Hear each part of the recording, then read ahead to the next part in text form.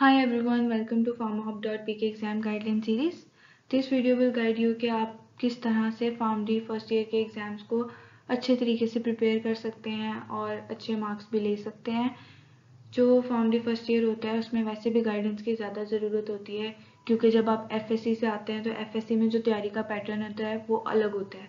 आपके पास एक बुक होती है और आपको पता होता है कि इसी बुक में से ही पेपर आएगा इसके अलावा कहीं से नहीं आएगा। जबकि यूनिवर्सिटी में ऐसा नहीं होता। यूनिवर्सिटी में आपके पास एक सिलेबस होता है और उस पर सिर्फ़ टॉपिक का नहीं मेंशन होता है। कहाँ से करना है, कौन सी बुक से करना है, किस तरीके से प्रिपेयर करना है, कितना प्रिपेयर करना है, इसके मतलब इसके बारे में कोई गाइडेंस नहीं होती। इसलिए जो है आपको ज़्यादा गाइडेंस की ज़रूरत होती है और शुरू में ही होती है। बाकी फिर वक्त के साथ साथ आप लोगों को आइडिया हो जाएगा कि आपने किस तरीके से कितनी बुक्स पढ़नी है या क्या करना है। जो ये भी होता है शुरू में बच्चों के माइंड में कि शायद एक बुक से पढ़ लेंगे तो एग्ज़ाम्स बहुत अच्छे हो जाएँगे, या फिर शायद बहुत ज़्यादा बुक्स पढ़ेंगे तभी होंगे। तो ऐसा भी नहीं होता। आपने इसको स्मार्ट वे में तैयार करना होता है। आपने स्लाइड्स भी पढ़नी होती है, आपने नोट्स भी पढ़ने होते हैं। सिर्फ़ बुक्स से पढ़ना ज़रूरी नहीं होता। आपने जो है वो स्मार्टली चीज़ों को लेकर चलना होता है, फिर आपके अच्छे मार्क्स भी आ जाएँगे और आपके कंसेप्ट भी क्लियर हो जाएँगे। सो आई होप कि आपको ये वीडियो जो है वो हेल्प करेगी। Let's start the video okay so सबसे पहले इसमें टोटल मार्क्स के हवाले से बात करें तो ये प्रॉफ जो होता है वो थाउज़ेंड मार्क्स का होता है। सेकेंड भी थाउज़ेंड का ही होता है और थर्ड प्रॉफ भी थाउज़ेंड मार्क्स का ही होता है। इसमें जो फ़र्स्ट ईयर में सब्जेक्ट वाइज मार्क्स की बात करें तो organic chemistry biochemistry pharmaceutics physical pharmacy physiology जो है, इसके जो थेरी का पेपर है वो हंड्रेड मार्क्स का होगा और प्रैक्टिकल का पेपर भी हंड्रेड मार्क्स का होगा।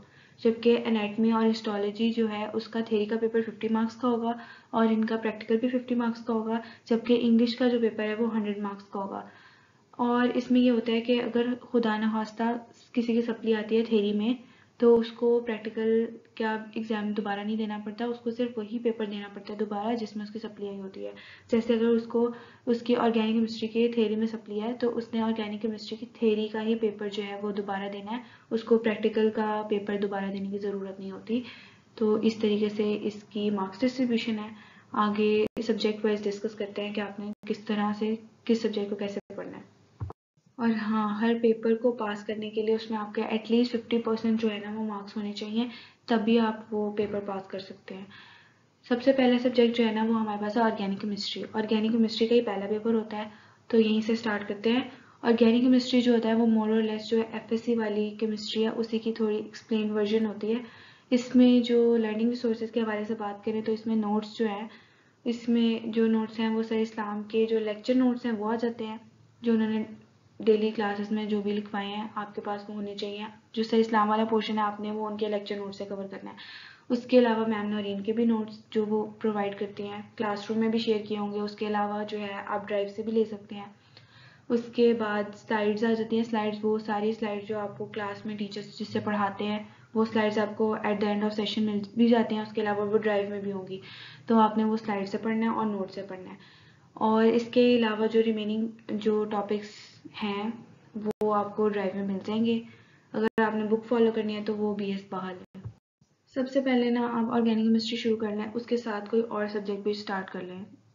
इसकी जो ऑर्गेनिक केमिस्ट्री की तैयारी है, वो इस तरीके से करनी है आपने कि सबसे पहले जो सर इस्लाम का पोर्शन है, वो कवर करना है। उसमें स्टीरियो केमिस्ट्री और इलेक्ट्रोफिलिक न्यूक्लियोफिलिक सब्सिट्यूशन रिएक्शन होंगे। आपने इन दो टॉपिक्स को प्रिपेयर कर लेना है। जो सर इस्लाम के लेक्चर नोट्स हैं ये आपके वहीं से प्रिपेयर हो जाएँगे। उसके बाद आपने हाइड्रोसाइक्लिक केमिस्ट्री जो है, उसको इस तरीके से प्रिपेयर करना है कि आपने एक शीट ले लेनी है। उसके ऊपर आपने एक टेबल बनाना है। उसमें जो भी, जितने भी हाइड्रोसाइक्लिक कंपाउंड्स हैं ना, जिसकी, जो आई थिंक स्लाइड से प्रिपेयर करते हैं तो आपने वो जो है ना, वो उस शीट पे लिख लेना है। कॉलम्स में पैरेलल आमने सामने सबको लिख लेना है।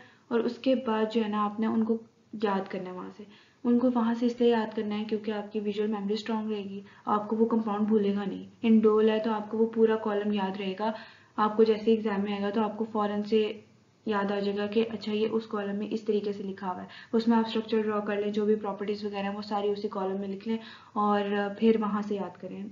क्योंकि उधर तो याद रहेगा, लेकिन अगर आप स्लाइड से याद करेंगे तो वो एक ही सीक्वेंस में होती हैं तो वो आपको दो तीन दिन बाद भूल जाएगा।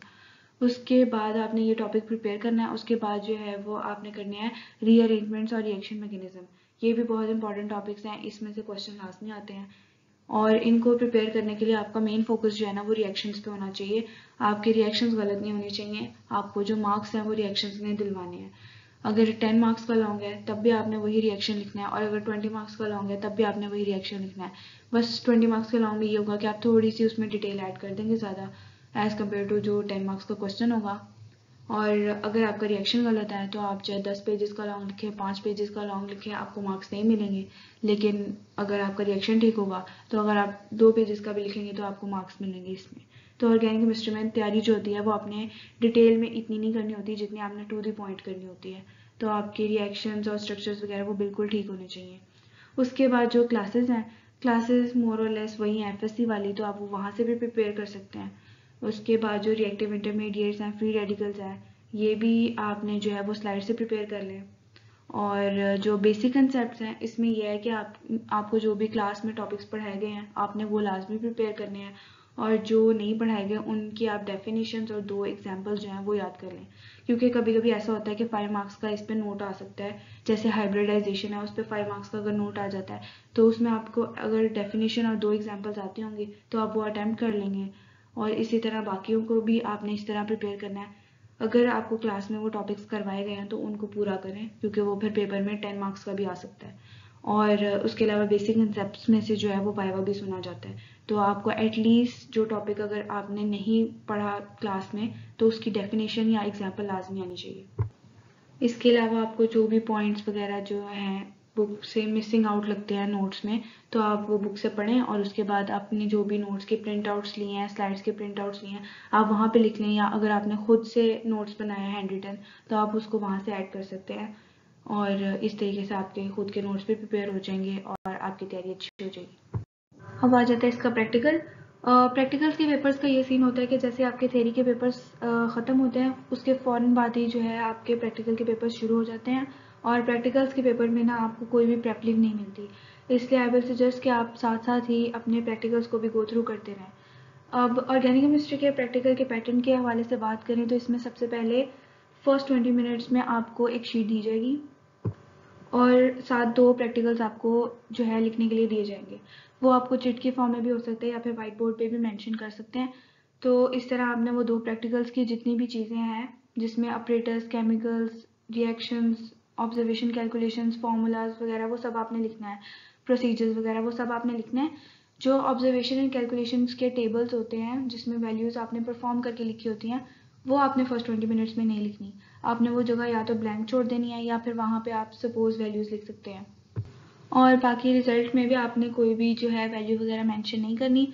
बहुत ही जनरल जो बेसिक इन्फॉर्मेशन है, आपने वो लिखनी है फ़र्स्ट ट्वेंटी मिनट्स में। उसके बाद जो है वो आपसे शीट ले ली जाएगी। इसलिए बहुत ज़्यादा इंपॉर्टेंट है कि आप, जो भी आपको टाइम अलॉट हुआ है, उसके अंदर अपना पेपर कंप्लीट करें। वो शीट ना तो आपको दोबारा मिलेगी और ना वो एक्स्ट्रा टाइम आपको देते हैं। इसके बाद आपकी परफॉर्मेंस स्टार्ट होगी। परफॉर्मेंस उन्हीं दो प्रैक्टिकल में से एक जो प्रैक्टिकल है, वो आपको परफॉर्मेंस के लिए दिया जाएगा। अब आपको एक और शीट देंगे। उसके ऊपर आपने जो भी परफॉर्मेंस की ऑब्जर्वेशन कैलकुलेशन वगैरह वो लिखनी है और रिज़ल्ट लिखना है। इसके बाद जो भी आपके इंटरनल एग्जामिनर हैं, वो आके आपकी परफॉर्मेंस चेक करेंगे, आपको मार्क्स दे देंगे, उसके अकॉर्डिंग आप फिर छोटा सा टेबल वाइवा भी हो सकता है। उसके बाद आपका आएगा मेन वाइवा इसमें जो है, वो आपसे बेसिक चीज़ें ही पूछी जाती हैं। मोस्टली जो है, इसमें प्रैक्टिकल के रिलेटेड ही वो पूछते हैं कि आप, आपने प्रैक्टिकल कौन सा परफॉर्म किया है, या फिर उसके रिलेटेड ही काफ़ी इन्फॉर्मेशन पूछ लेते हैं, और वो भी बहुत सी जनरल जनरल ही होती है। और अगर उन्होंने थेरी में से पूछना हो तो वो डेफिनेशन वगैरह ही पूछते हैं मेनली तो इसमें बस यही होता है। नेक्स्ट सब्जेक्ट है बायोकेमिस्ट्री का, और नेक्स्ट पेपर भी इसी का होता है। इसके लर्निंग रिसोर्सेज में जो है, वो नोट्स आ जाते हैं और स्लाइड्स हैं। नोट्स आपको ड्राइव से मिल जाएँगे, और स्लाइड्स जो हैं, वो भी आपको ड्राइव से मिल जाएँगी। और वैसे भी जो टीचर्स हैं, वो आपको at the end of session slides दे देते हैं। बुक्स में जो रिकमेंडेड बुक है इसके प्रिपरेशन में जो इंपॉर्टेंट टॉपिक्स हैं, उसमें हार्मोन्स आ जाते हैं। हार्मोन से जो है, वो एक से ज़्यादा क्वेश्चन भी आ जाता है। इसको आप जेपी से भी प्रिपेयर कर सकते हैं। और वाइटामस हैं वाइटामस को आप जो है, वो स्लाइड से प्रिपेयर कर सकते हैं, या फिर नोट्स जो ड्राइव में अवेलेबल है, आप वहाँ से कर सकते हैं। वाइटामस में आपने सोर्सेज उनकी डेफिशिएंसी से क्या होता है, और उनकी टॉक्सिसिटीज़ क्या होती हैं, उनका फ़ंक्शन मेन क्या होता है डोज क्या होती है, ये चीज़ें याद रखनी है।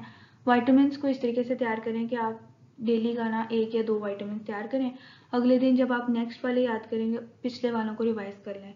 तो इस तरह ये भूलेंगे नहीं अदरवाइज़ ये भूल जाते हैं। इसके अलावा इंजाइम्स बहुत इंपॉर्टेंट टॉपिक है। मिकाइलिस मेंटन इक्वेशन इंपॉर्टेंट है। लिपिड्स में जो ऑक्सीडेशन वगैरह, वो इंपॉर्टेंट है। इसके रिएक्शन इंपॉर्टेंट हैं। कार्बोहाइड्रेट्स में जितने भी साइकिल्स हैं क्रैप साइकिल है ग्लाइकोलिसिस है, ये सारे बहुत इंपॉर्टेंट हैं। आपने बायोकेमिस्ट्री में ना कोई भी टॉपिक छोड़ना नहीं है। क्योंकि बायोकेमिस्ट्री का पेपर जो होता है ना, वो पार्ट्स की फॉर्म में आता है। टेन मार्क्स का फाइव मार्क्स का पार्ट होता है। तो अगर आप कोई टॉपिक छोड़ेंगे तो हो सकता है कि आपका क्वेश्चन पूरा अटैम्प्ट ना हो सके। तो इसलिए बेहतर है कि आप हर टॉपिक को कवर करें। जो बायोकेमिस्ट्री का प्रैक्टिकल पैटर्न है, वो वही है जो ऑर्गेनिक में था कि फ़र्स्ट ट्वेंटी मिनट्स में आपको एक शीट दी जाएगी और दो प्रैक्टिकल जो हैं वो लिखने के लिए दिए जाएँगे। जैसे आपका टाइम ख़त्म होगा, आपसे वो शीट ले ली जाएगी और फिर आपको एक नई शीट देंगे। उसमें साथ आपको अननोन सैंपल देंगे, आपने वो आइडेंटिफाई करना है। जैसे लेट सपोज़ आपका सैंपल जो था वो ग्लूकोज है, आपने उसको कन्फर्मेटरी टेस्ट वगैरह परफॉर्म करके आइडेंटिफाई किया है।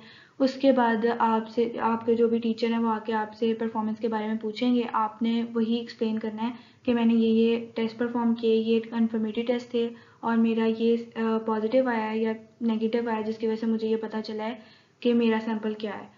तो आपने वो एक्सप्लेन करना है और आपने जो आपकी शीट है उस पर भी वो सारी टेस्ट वगैरह लिख लेने हैं कन्फर्मेटरी टेस्ट कौन सा परफॉर्म किया है और आपकी ऑब्जर्वेशन क्या थी। इसके बाद आपकी परफॉर्मेंस कंप्लीट हो जाएगी। फिर आएगी वाइवा की बारी। वाइवा जो है वो आपका जो प्रैक्टिकल नोटबुक है उसमें क्वेश्चन मैंशन है। आप जो है प्रैक्टिकल से पहले वो सारे क्वेश्चन गो थ्रू करके जाएँ, आपसे वही पूछे जाएँगे और इनशाला आपका वाइवा भी अच्छा हो जाएगा। नेक्स्ट सब्जेक्ट है फिजियोलॉजी फिजियोलॉजी में जो सबसे ज़्यादा इंपॉर्टेंट लर्निंग रिसोर्सेज हैं, वो आपके हैं स्लाइड्स स्लाइड्स आपने लाजमी जो है वो गो थ्रू करनी है। स्लाइड्स के आप प्रिंट आउट्स ले लें, उसके बाद आप स्लाइड्स को गो थ्रू करें। उसमें उससे आपको ये फ़ायदा होगा कि आपको आउटलाइन मिल जाएगी एक टॉपिक की कि अच्छा मैंने टॉपिक में ये ये जो पॉइंट्स लाजमी प्रिपेयर करने हैं। उसके अलावा ये आपको की पॉइंट्स देते हैं। पेपर में आपको जो की पॉइंट्स याद रहेंगे तो बाकी आपका जो क्वेश्चन है वो अच्छा अटैम्प्ट हो जाएगा, कोई जो है वो पॉइंट मिस नहीं होगा। उसके बाद आप जब बुक से पढ़ें वो टॉपिक और बुक में जो भी इंफॉर्मेशन आपको लगता है कि ये मुझे ऐड करनी चाहिए, वो आपने जो भी स्लाइड्स के प्रिंट आउट्स लिए हैं, उसके ऊपर वो ऐड कर लें। इस तरह से आपके खुद के नोट्स बन जाएँगे और एट द एंड आपका अपना टाइम जो है वो बचेगा और पेपर्स में जो है रिवीजन करने में बहुत ज़्यादा आसानी होगी। इसके अलावा आप यूट्यूब से भी पढ़ सकते हैं। यूट्यूब पे काफ़ी ज़्यादा चैनल्स हैं। वहाँ से आप वहाँ पढ़ें डायग्राम प्रैक्टिस करें इनकी और जो भी आप टॉपिक यूट्यूब से भी पढ़ें उसमें भी जो इन्फॉर्मेशन आपको लगता है कि मुझे ऐड करनी चाहिए, वो आपने जो भी स्लाइड्स के नोट्स बनाए हैं, आप उसको वहाँ पे ऐड करें। फिर पेपर में जो है, वो एक ही दिन की प्रेप लीव होती है तो फिर आप वहाँ पे जो है रिवीजन करना आपके लिए काफ़ी ज़्यादा आसान होगा। इसकी प्रिपरेशन यही है कि आपने ये जितने सारे टॉपिक हैं, आपने इनको स्लाइड से पहले गो थ्रू करें, उसके साथ आप यूट्यूब वीडियोज़ देखें। जब आपके कंसेप्ट क्लियर हो जाएँगे तो फिर आपने जो है, वो बुक से पढ़ना है और बुक में जो भी आपको इन्फॉर्मेशन लगता है कि ऐड होनी चाहिए, वो आप अपने स्लाइड्स वाले जो नोट्स हैं, आप उस पर ऐड कर लें। इस तरह आपके खुद के नोट्स प्रिपेयर हो जाएँगे और आपके कंसेप्ट भी क्लियर रहेंगे। कंसेप्ट क्लियर करना काफ़ी ज़्यादा ज़रूरी है, क्योंकि आगे फार्माकोलॉजी आपने पढ़नी है तो फार्माकोलॉजी में इंपॉर्टेंट है कि आपको ह्यूमन फिजियोलॉजी अच्छे तरीके से आनी चाहिए। ताकि आपको फंक्शनिंग सारे सिस्टम की फंक्शनिंग अच्छे तरीके से पता होगी तो फिर आपको जो फार्माकोलॉजी है वो ज़्यादा अच्छी समझ आएगी। इसके अलावा जो टॉपिक्स जो हैं डायग्राम्स के थ्रू या फिर फ्लो चार्ट्स के थ्रू अच्छे तरीके से प्रिपेयर हो सकते हैं आप उनको उस तरीके से प्रिपेयर करें। डाइजेस्टिव सिस्टम में सिग, जो सिग्नल ट्रांसडक्शन पाथवे है वो बहुत इंपॉर्टेंट है आप उसको फ्लो चार्ट के थ्रू याद कर सकते हैं। इस तरह बाकी टॉपिक्स को भी आप ईजी वे में याद करें ताकि आपको लॉन्ग टर्म याद रहे। जो फिजियोलॉजी का प्रैक्टिकल का पैटर्न है वो यही होता है कि फ़र्स्ट ट्वेंटी मिनट्स में आपको एक शीट देंगे और साथ दो प्रैक्टिकल्स आपने लिखने हैं। आफ्टर ट्वेंटी मिनट्स वो शीट ले लेंगे और फिर आपको एक नई शीट देंगे। उस पर आपने जो पहले दो प्रैक्टिकल सीखे हैं, उनमें से एक प्रैक्टिकल आपने परफॉर्म करना है। लेट सपोज़ आपको हीमोग्लोबिन वाला प्रैक्टिकल परफॉर्मेंस के लिए आता है तो आपने वो पूरी परफॉर्मेंस करनी है, उसके बाद आपका टेबल वाइवा होगा। इसमें टेबल वाइवा मस्ट होता है, जो फाइव मार्क्स का होता है। उसमें आपसे प्रैक्टिकल रिलेटेड क्वेश्चन ही पूछते हैं कि हीमोग्लोबिन की नॉर्मल रेंज क्या है? अगर हीमोग्लोबिन की डेफिशिएंसी हो जाए तो क्या होता है? और मेल और फीमेल में क्या क्या नॉर्मल रेंजेस हैं? इस तरीके से क्वेश्चंस पूछेंगे और आ, उसके बाद आपका जब टेबल वाइवा हो जाएगा तो फिर आपका एक्सटर्नल वाइवा होगा।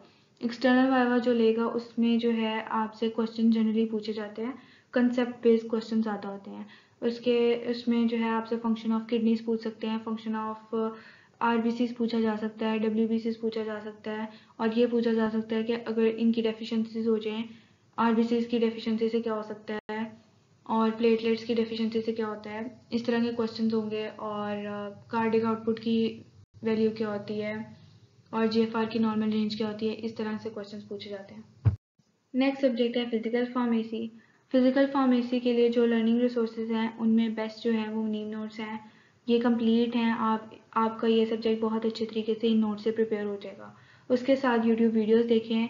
वहाँ से आपके काफ़ी हद तक कंसेप्ट क्लियर हो जाएँगे और आपने जो बुक्स फॉलो करनी है, उसमें ये मसूद बुक और सिप्रा बुक है, आप इनको फॉलो कर सकते हैं। इसकी जो आपकी प्रिपरेशन है ना, वो नोट से हो जाएगी, उसके साथ आप यूट्यूब पे जो लेक्चर्स हैं, वो लें तो आपके कंसेप्ट भी क्लियर हो जाएँगे और आपकी इसकी तैयारी हो जाएगी। इसकी तैयारी कुछ हद तक रट्टा है और काफ़ी हद तक कंसेप्ट हैं, आपके कंसेप्ट लास्ट में क्लियर होने चाहिए। आगे फिर आपको थ्रू आउट प्रोफेशनल लाइफ जो है, वो काम आएँगे।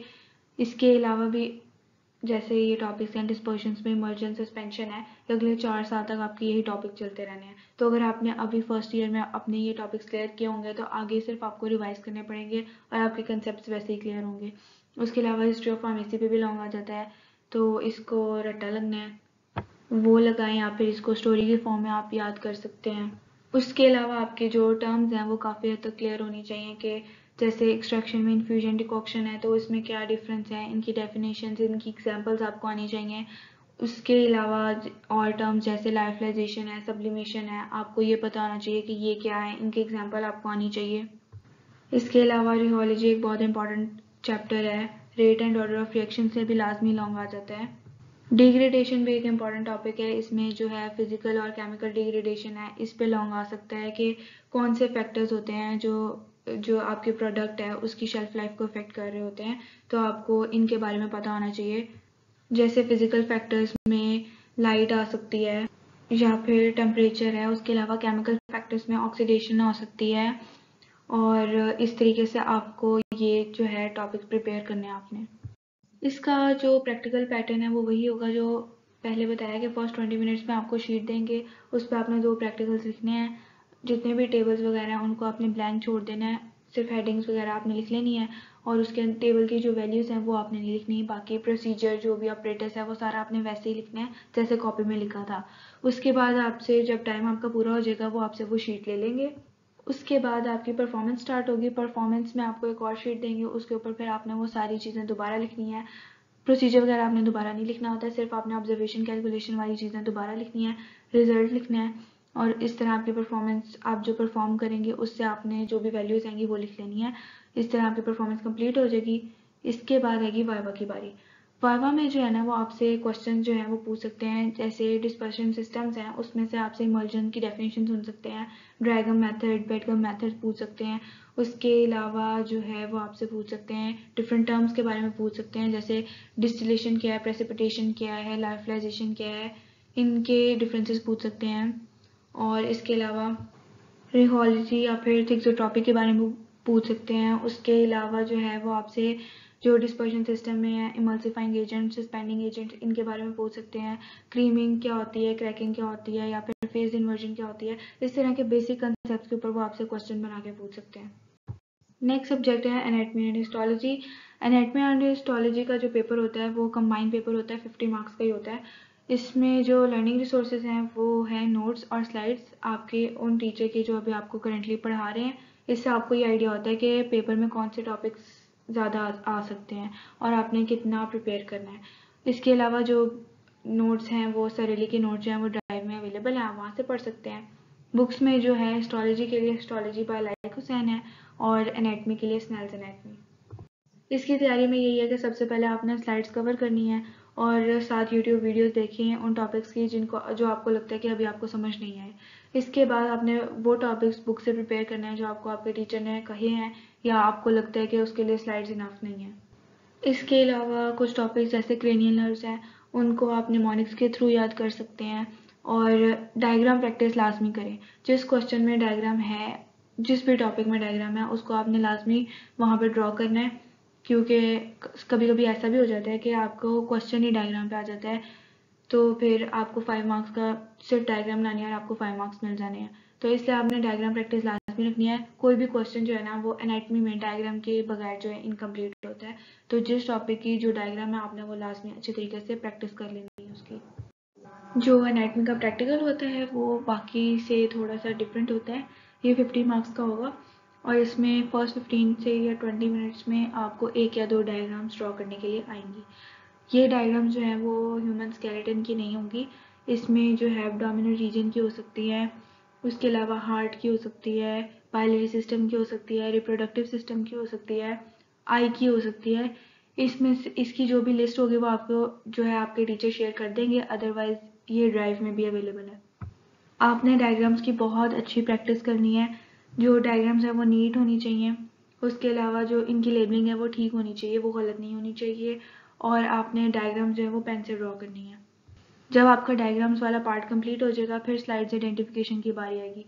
स्लाइड्स आइडेंटिफिकेशन में जो भी आपने इन्फॉर्मेशन लिखनी है, वो आपको आपके टीचर प्रोवाइड कर देंगे। उसके अलावा जो है आप किसी सीनियर से भी ले सकते हैं। फाइव माइक्रोस्कोप अरेंज होंगे, उसमें स्लाइड्स लगी होंगी। आपने एक या हाफ़ मिनट आपको दिया जाएगा एक स्लाइड को आइडेंटिफाई करने के लिए। उसके बाद जो भी उसमें रिक्वायर्ड इन्फॉर्मेशन है, आपने वो लिख देनी उस शीट पे और फिर इस तरह ये वाला पार्ट आपका कंप्लीट हो जाएगा। इसके बाद आपकी बारी आएगी वाइवा की। वाइवा जो होता है, इसका मेजरली थेरी वाले पोर्शन से ही होता है। उसमें आपसे क्रेनियल नर्व्स के बारे में पूछ सकते हैं जॉइंट्स के बारे में पूछ सकते हैं। या फिर किसी भी और ऑर्गन के बारे में पूछ सकते हैं हॉर्मोन्स के बारे में पूछ सकते हैं। ज़्यादातर ये थेरी वाले पोर्शन में से होता है। इसके अलावा आपको कोई बोन भी दे सकते हैं और वो उसके बारे में कह सकते हैं कि इसको एक्सप्लेन करें। तो इस तरह का आपका वाइवा होता है। लास्ट पेपर होता है इंग्लिश का। इंग्लिश की तैयारी के लिए जो दो पोर्शन होते हैं। एक पोर्शन में आपको सीवी राइटिंग रिपोर्ट राइटिंग या फिर रीडिंग एंड राइटिंग स्किल्स वगैरह जैसे लॉन्ग है। वो आपने प्रिपेयर करने हैं, उन नोट से जो आपके टीचर आपको देंगे, या फिर ये बुक शॉप पे भी अवेलेबल होते हैं, आपने ये पोर्शन वहाँ से प्रिपेयर करना है। जो बाकी का पोर्शन है, जैसे डायलॉग है लेटर्स है एप्लीकेशन हैं एसेज हैं, ये आपने किसी भी बीएससी की जो इंग्लिश ग्रामर की बुक है, आप ये वहाँ से प्रिपेयर कर लें। इस तरीके से आपका इंग्लिश का पेपर तैयार हो जाएगा। वैसे भी ये थोड़ा ईजी पेपर होता है। बाकी जो इसके एम वगैरह हैं वो ज़्यादातर पार्ट्स ऑफ़ स्पीच में से आते हैं तो आप उसको प्रिपेयर कर लें तो आपका ये पेपर प्रिपेयर हो जाएगा। That's it from my side first year वालों के लिए एक छोटी सी इंपॉर्टेंट बात कि बुक्स पढ़ना या ना पढ़ना, आपका अपना डिसीज़न होना चाहिए। सीनियर्स क्या कह रहे हैं नोट्स कह रहे हैं स्लाइड्स कह रहे हैं बुक्स कह रहे हैं, ये आपका अपना डिसीज़न होना चाहिए किसी और के कहने पे आपने वो काम नहीं करना। क्यों? क्योंकि अगर आपने मतलब बुक्स पढ़नी है तो आप सेशन के शुरू से ही बुक्स को पढ़ें। सेशन एंड होने पे आप बुक्स से पढ़ने की गलती ना करें, क्योंकि जब दो या तीन महीने का जो टाइम होगा, उसमें अगर आप बुक्स पढ़ना शुरू कर देते हैं तो ना तो आपका सिलेबस कंप्लीट होगा, ना आपके नोट्स बनेंगे उस टाइम में, और फिर रिवीजन तो टाइम ही नहीं बचेगा। तो इसलिए ज़रूरी है कि आप अपना, अपने आप को देखिए कि आपको किस तरफ़ इंटरेस्ट है। अगर आपको बुक्स पढ़ने में ज़्यादा इंटरेस्ट है तो आप शुरू से सेशन के शुरू से बुक्स को पढ़ें, ताकि आपके पास इतना टाइम हो कि जब सेशन ऑफ़ हो जाए तो आप स्लाइड्स को भी गो थ्रू कर सकें। स्लाइड्स पढ़ना इसलिए इंपॉर्टेंट है क्योंकि ज़रूरी नहीं है जो आप बुक पढ़ रहे हैं, उसमें से ही टीचर ने वो स्लाइड्स बनाई हों। और समटाइम्स ऐसा होता है कि टीचर अपनी ही स्लाइड को उठा के क्वेश्चन बना के पेपर में दे देते हैं। तो फिर उस वक्त आपके लिए प्रॉब्लम होगी, इसलिए स्लाइड्स को लाजमी गो थ्रू करें और जो स्टूडेंट सेशन के एंड पे पढ़ना शुरू करते हैं, वो सबसे पहले स्लाइड्स और नोट्स को कवर करें। उसके बाद वो टॉपिक्स जो उनको लगता है कि नोट्स में या स्लाइड्स में नहीं है तो वो आप बुक से कवर करें। बुक्स का पढ़ना इंपॉर्टेंट है, क्योंकि ये आपके नॉलेज को इंक्रीज़ करती हैं और आगे प्रोफेशनल लाइफ में काफ़ी हेल्पफुल होती हैं। लेकिन बिल्कुल सेशन एंड होने के बाद जब पेपर्स करीब हों, तब बुक्स को पढ़ना is a very wrong way तो ये आपने खुद डिसाइड करना है कि आपने बुक्स को किस तरीके से पढ़ना है। और किस तरीके से आपने एग्ज़ाम्स की अच्छी तैयारी करनी है। दोनों बहुत अलग अलग चीज़ें हैं तो इनको बैलेंस करना आपके अपने ऊपर है। ये फिर आपका फाइनल डिसीज़न अपना होना चाहिए कि आपने कौन से सब्जेक्ट की बुक्स कब से पढ़नी स्टार्ट करनी है और फिर एग्ज़ाम्स की तैयारी आपने कब से शुरू करनी है। दैट्स इट अगर आपका कोई भी इसके अलावा क्वेश्चन है तो आप कमेंट सेक्शन में पूछ सकते हैं। ड्राइव का लिंक जो है वो आपको डिस्क्रिप्शन बॉक्स में मिल जाएगा। Best of luck for your exams thanks for watching अल्लाह हाफिज़